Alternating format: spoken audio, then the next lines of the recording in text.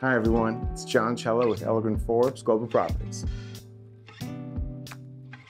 Here's a quick market summary for our neighborhood, which I've done with the help of UrbanDigs, one of the leading data analysts focused on the New York City real estate markets. Now I'm going to get a little technical on you here, but bear with me. This should help us understand what's going on in Nomad at the moment. First, we will see in this snapshot that the neighborhood conditions are currently favoring buyers. However, if we take a deeper look, we will notice that there has been a recent shift in the market dynamics that has led to a more seller friendly environment. Now let's look at the basic dynamics of supply versus demand.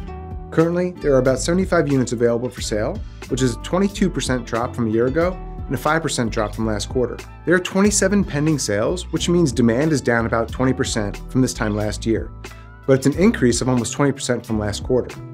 These numbers are a good example of the aforementioned shift towards a seller's market.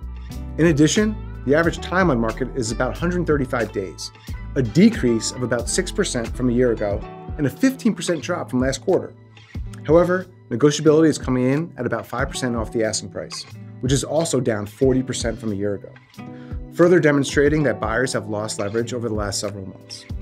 Another sign of a strong seller's market is the fact that median sales price has increased almost 18% from last quarter and last year. In conclusion, there's been an unexpected surge of demand to start the year, which has led to a tightened supply pool and a seller friendly environment. If you're considering selling your home, I believe it's a great time to test the market and find out how we can assist in getting you the most value possible. Feel free to reach out anytime for a free consultation and give me a follow for market information and real estate tips. Thanks again and have a great day.